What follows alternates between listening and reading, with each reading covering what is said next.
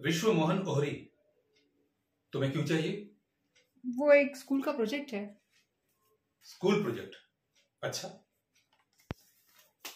Library close होने में सिर्फ़ आधा घंटा बचा है। सर आप इतना डिस्कस करोगे तो वो आधा घंटा यही निकल जाएगा। अब बताओ ना बुक कहाँ है?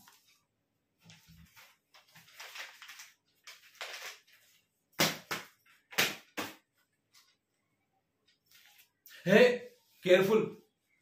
पुरानी बुक है। और इसके पन्ने तो फटे हुए हैं।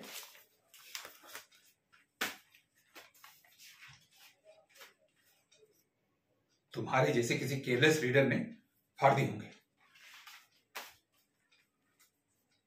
चलो निकलो यहाँ से। चलो जाओ।